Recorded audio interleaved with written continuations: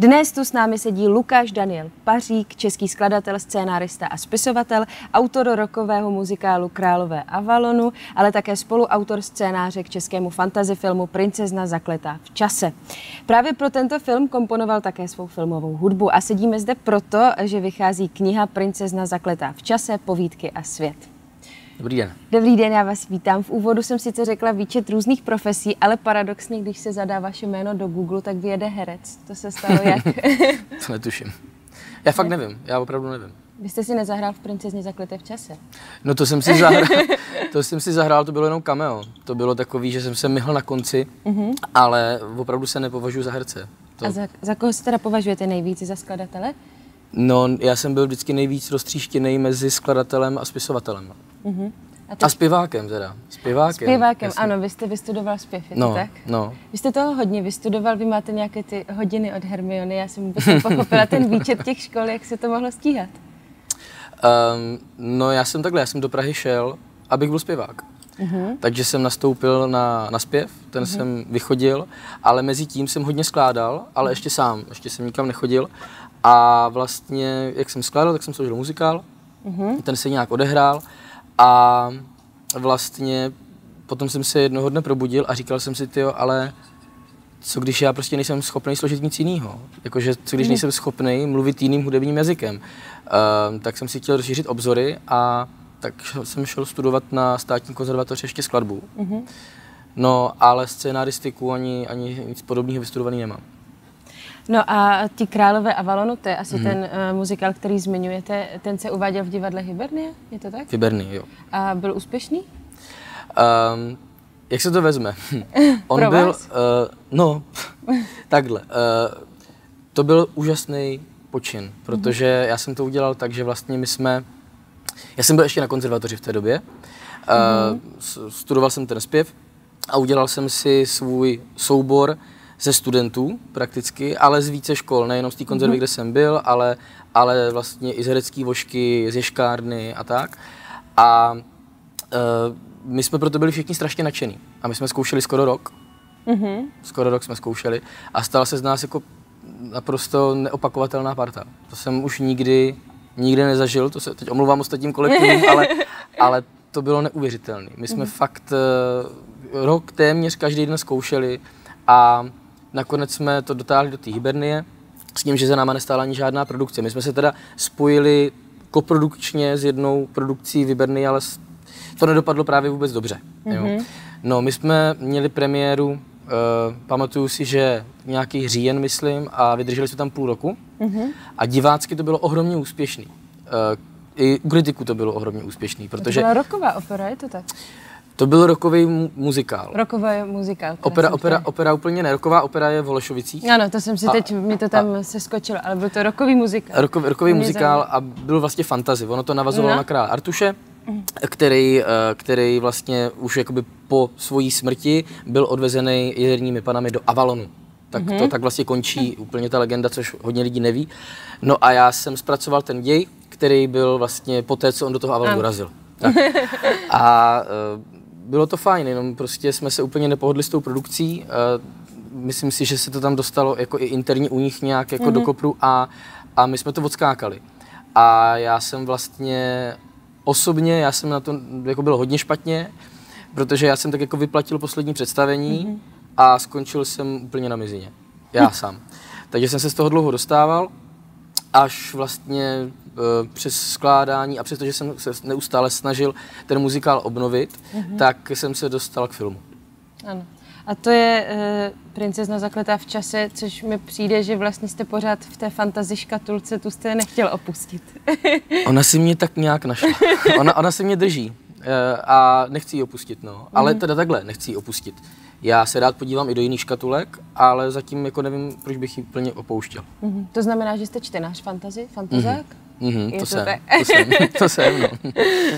Ale vy jste přinesl uh, fantazy pohádku. Můžeme říct, že to je pohádka Princezna zakletá v čase? Určitě. Nevadí vám to ne, ne, ne, eh, ne, ne, ne, vůbec ne. Je to teda dost, uh, chápu, rozporuplný spojení, mm-hmm. protože oni na vlastně v tom fantazijním nějakým spektru stojí dost uh, na opačných polech. Ano ale přesto se dá najít nějaký průsečík. Mm-hmm. My jsme nemohli uh, jakožto tvůrci, my jsme vlastně jako tři hlavní tvůrci. Ano. A my jsme nemohli přinést čistý fantazy, protože my jsme nezávislá produkce. Uh, náš producent Viktor Krištof, režisér je Petr Kubík, my všichni tři se podílíme na scénáři a jsme ohromní fanoušci fantazy. Ale uh-huh. nemohli jsme přinést uh, čistokrevný fantazy, protože by na to nikdo nedal peníze, protože by tomu nikdo nevěřil, že se na to Češi budou dívat. Uh-huh. A tím pádem my jsme si řekli, uděláme teda pohádku, ale mm-hmm. ta pohádka bude jiná. Nebude to prostě uh, klasická česká šablonovitě jako vytvořená mm-hmm. pohádka. Uh, nebudou tam uh, lidi, co stoupají na hrábě, aby je praštili do, do hlavy, ale, ale zkusíme to udělat s civilnějším herectvím. Mm-hmm. Zkusíme, aby ty emoce, které ty postavy prožívají, byly reálnější a ten divák se s tím víc totožnil a tím pádem to bylo napínavější mm-hmm. a vyšlo to. Vyšlo to. No vyšlo to hodně, protože myslím, že to má 80, uh, 72% na ČSFD, což mi přijde, že je nejúspěšnější pohádka posledních let jo, v českém kontextu. Čekali jste to? Já bych řekla, že jste možná spíš to nečekali. Uh, takhle. Já jsem byl, st- jako ta představa, že bychom šli pod 70%, mě strašně štvala. ale, ale připouštěl jsem si, že uh, to tak může dopadnout, protože uh, Teď řeknu možná něco, co si vystřihnete, to říkám dopředu. Ehm, my jsme šli hodně inovátorsky do toho, a to i včetně toho, že jsme třeba do pohádky obsadili Černocha. Mm-hmm. A my jsme schytali takový hate prostě na sociálních sítích, uh, nejenom tady za tohleto, ale třeba za to, že... Byl to uh, Ondřej Sokol? Uh, ne? ne, ne, nebyl to Ondřej Sokol. Uh, a vůbec to, že najednou je to akční, tak že vlastně jako se strašně teda blížíme Americe a Západu a kde je klasická česká pohádka. A takže já jsem se toho trošku bál, mm-hmm. ale ve finále absolutně převážili ty lidi, kteří pochopili, co jsme tím chtěli říct a kam mm-hmm. to chceme vést. Ano. Mě by zajímalo, uh, vy jste zmínil, že jste spisovatel, že si považujete skladatel, spisovatel. No. Tak to znamená, že ten koncept princezny zakleté v čase existoval uh, ve vaší hlavě jako kniha? a pak jste ji přetavil ve scénář? Nebo jste se scházeli tři přátelé nadšenci fantazie a psali to společně? Tak jak jste to řekla, to bylo u Králu Avalonu. To byla mm-hmm. velká povídka a tu jsem potom mm-hmm. udělal do scénáře. Ale s princeznou to bylo úplně jinak. Eh, původní koncept eh, vlastně držel režisér Petr Kubík mm-hmm. a to s producentem Viktorem Krištofem. Mm-hmm. A já jsem tam byl přizvaný původně jenom jako hudební skladatel. Mm-hmm. No a teď eh, mi poslali ten scénář a Viktor říká, hele, ty píšeš taky, ne? Říkám, no. No a tak nechceš to jako projet, podívat se na to a popoznámkovat třeba, co by se ti zdálo mm-hmm. blbý. A já jsem si to vzal, teď jsem to začal projíždět a on to byl teda můj první film, jo. Mm-hmm. Takže já jsem se dost bál jim říct, jako hele, tohle prostě ne a tohle taky ne. A tak jsem jim furt volal. Furt jsem jim volal a já pamatuju si, že to byly třeba dva, tři dny, kdy já jsem jim volal nonstop úplně. A myslím si, že vlastně to, že já jsem se stal spolu scénaristou, tak k tomu vedla jejich zoufalost z toho neustálého zvedání toho telefonu. Já jsem do nich tak strašně šil, říkám, hele, tohle přece musí být jinak a tady musí být tohle, že nakonec řekli, pojď to psát s náma. Mm-hmm. No a tak se to vlastně stalo. No a nakonec uh, Nakonec eh, jsem to celý vlastně přepisoval mm-hmm. s nějaké synergii s Petrem Kubíkem, jsme se vlastně scházeli několikrát do týdne a ještě jsme se to dál odráželi od Viktora Krištofa a tak je to vlastně do dneška. Mm. Ale tady na této knize je vaše jméno největší? Ano, protože jsem toho napsal nejvíc já. Takže tady eh, je to hlavně vaše dílo. Máme jo, to, to je hlavně moje dílo. Jak máme vnímat tu knížku? Já myslím, že je trošku zavadějící, že tady máme tyto eh, tři herce vlastně z vašeho eh, filmu, mm-hmm. Fantazy, ale ta knížka není ten film, což se často ne. stává. Tak pojďme říct, co to je. To je. Jsou to povídky, to teda soubor povídek. Ta knížka je rozdělená na dvě části. Mm-hmm. Na část povídky a na část svět. Mm-hmm. V části povídky, tak tam čtenáři najdou 14 povídek mm-hmm. o postavách, který znají, z, z filmu a i o postavách, které budou teďka v pokračování, který připravujeme. Uh-huh. A v druhé části najdou reálie toho světa, protože uh, když to má být fantazy, tak to musí mít pořádně vybudovaný svět, musí to mít uh-huh. pořádný lore a tím jsme se zabývali, takže tam najdou bestiář, najdou tam abecedu run, najdou uh-huh. tam historii toho světa. Uh-huh. A e, nepřijde vám jako odvážné, že tam máte ty tři herce, že si to nekopí třeba nadšenci fantazy, že by jim to mohlo přinést něco nového? Myslíte si, že to je jenom pro fanoušky toho filmu? Um, já nevím. Já, já myslím, že ne totiž. Ne, ne, ne, ne, takhle, ta knížka určitě není pro fanoušky ne. jenom toho filmu. Samozřejmě ti, kteří ten film viděli, si to užijou víc, mm. ale určitě to může fungovat samostatně. Mm. Ale uh, takhle, my máme trošku jiný marketing než ostatní filmy. Mm-hmm. My vlastně máme hrozně hezkou fanbase a neustále s ní komunikujeme. Uh, a ty povídky totiž, to je ještě důležité, jak to vzniklo. A proto mm-hmm. vlastně, já se potom dostanu k tomu, proč jsou tam tady tihle tři. uh, ono to vzniklo tak, že přišel covid. My jsme byli nejzasaženějším filmem vlastně v, covidové, v covidovém období. Vy jste natáčeli během covidu, nebo že jste ne, vydávali k tomu do premiéry? Tak. tak, my jsme v březnu, my jsme měli mít březn, 19. Eh, března jsme měli mít premiéru, si myslím, ano. a 12. března byl lockdown. Mhm. A to je strašný, protože utratíte spoustu peněz na marketing, takže potom se to muselo nějak refinancovat, samozřejmě jsme na tom hrozně tratili a nakonec jsme premiéro, premiérovali v září. Mm-hmm. No a tři týdny na to přišel další covid, další mm-hmm. lockdown. A mm-hmm. to bylo hrozný. No a e, my jsme vlastně nevěděli, co dělat, ale na druhé straně nám vlastně chyběla ta interakce s tím fanouškem a s těmi lidmi, kteří nás sledovali už během té tvorby, protože mm-hmm. jsme e, například na primě běžel seriál, jak se točí pohádka mm-hmm. a, a tak.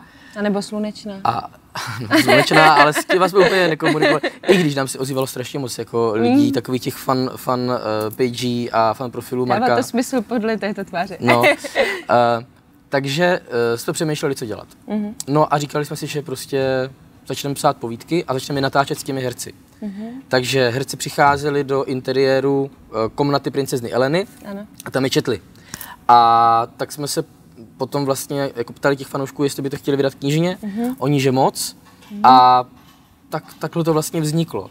No a uh, myslím si, že ono to vlastně se odvíjí od plagátu, přesně takhle vypadal i plagát na film, ano. tak jsme chtěli komunikovat, že ano, tady tohle to je ten, je, je, to, je to vlastně prostředí toho filmu, ale jmenuje se to Povídky a svět, čímž jsem se chtěl odlišit od toho, že to není zpracovaný děj toho filmu. Uh-huh. Uh, takže vy jste vlastně ten film už oficiálně odpremiérovali, ale to už máte ano, teď za ano. sebou. Takže jste měli v podstatě dvě plus jedna premiér. My jsme měli jednu. jednu, co nebyla, jednu, tak, jednu co, byla ano, a, jednu, a jednu, co. co byla úplně. No ne, my jsme v září jsme měli tu hlavní mm. premiéru. A už se vám nepovedlo, pak už a jste to jenom prostě pustili. A... Potom jsme tři týdny byli v kinech, zavřelo se to mm. a další nějakou premiéru jsme neměli. Ono se to nějak snad vrátilo do letních kin, ale, ale to jako už, už to není, to už není ono. Tak proto 72%. Co, no tak to doufám, že ne. Tak ono to hlavně, takhle, ono to mělo pre, uh, televizní premiéru. Ano, samozřejmě. Tak. Uh, a má to uh, svoji fanouškovskou základnu, řekl byste spíš mladších fantazáků, nebo že to pokrývá všechny generace, ten film? Když to, když um, to by věděl spíš uh, Rejža, protože mm-hmm. ten, ten hodně sleduje ty statistiky, ale pravda je taková, že uh, samozřejmě i já, jako člověk, který má rád fantazy, mm-hmm. kdybych viděl tohleto, Princezna zakletá v čase, česká fantazy pohádka, tak bych k tomu byl uh, trošku rezervovaný. Říkal bych si, aha, Češi natočili fantazy, mm, mm. tak se pojďme podívat do kina, co to bude. A uh, myslím si, že u některých tady tenhle ten pocit jako převládal, mm-hmm. ale postupně si ty fanoušky fantazy získáváme, takže tam stoprocentně jsou. Mm-hmm. Fanoušci Harryho Pottera stoprocentně. Mm-hmm. Fanoušci, nevím, třeba tak jako tvrdších fantazy, jako, mm-hmm. je, jako jsou třeba hry o trůny, mm-hmm. nebo vikingové, nebo něco podobného, tam úplně nevím, jak se to setkává, mm-hmm. ale samozřejmě jinak je to pro lidi, kteří mají rádi klas, jako, i klasické pohádky mm-hmm. a um, co se týká nějaký, nějaký uh, cílovky dle věku, já si myslím, že tam je to tak od deseti let, nej, jako nejmí, možná i, i dřív, ale až třeba do 35. Mm-hmm. Jo, že to si myslím, že máme dost jako široký, široký záběr v tomhle. Mm-hmm. A koukali na to i důchodci a líbilo se jim to. Jo. Hmm. uh, jak se komponovala hudba k fantasy filmu? Skvěle. Super, protože uh, zaprvé to je teda žánr, který já miluju. Mm-hmm. To, je, to je něco, co já vlastně poslouchám od malička. A Tady jde o to, že když natočíte film typu, si vymyslím, já nevím, třeba Princezna Zemlejna nebo Čerty nejsou žerty, uh-huh. tak eh, to vyžaduje určitý typ hudby, uh-huh. ale kdybyste k tomu dala typ hudby, jako je v Princezně, nebo já nevím, Pán prstenovskou hudbu nebo Harryho Pottera, tak to vlastně bude znít až směšně, protože to je prostě ta hudba, ten obraz to neunese, ta hudba je na to příliš, toho úplně zahltí a bude to vypadat parodicky. Jo. Ale tím, že my jsme šli do akčna, do napínava a do závažné zápletky, tak eh, a jako hlavně to opravdu jako obrazově bylo hodně výpravný, mm-hmm. tak já jsem si mohl dovolit skládat velkou hudbu a to bylo super. Mm. Uh, ten soundtrack je i hodně úspěšný hodně lidí si to eh, poslouchá. A teďka už máte hotový i pro princeznu zakletou v čase dvě? To ne, protože tam se vždycky skládáš na obraz. No a to jsem se chtěla zeptat, eh, nejslavnější díl, můj oblíbený díl Kolomba, takže opravdu to tak funguje, že vy sedíte, ten film před vámi běží a vy si takhle komponujete. Jo, je to tak. Je to tak? no, no, no. Já jako uh, samozřejmě, jak u jedničky, tak teď už i u dvojky si dávám dohromady nějaký motivy. Uh-huh. Prakticky jenom na piano. Uh-huh. A nebo zvukové palety, třeba skrz nějaký mm, syntetický zvuky nebo, nebo různé atmosféry. Ale já potřebuji vidět ten obraz. Já mm-hmm. potřebuji vidět obrazy, uh, teda obrazy, potřebuji vidět barvy toho obrazu, potřebuji vidět výrazy těch herců, nějaký s nima, vědět, jestli je podpořím, nebo jestli půjdu proti ním a tak. A já to bez toho obrazu skládat nemůžu. No. A máte absolutní volnost, kde bude hudba ve filmu?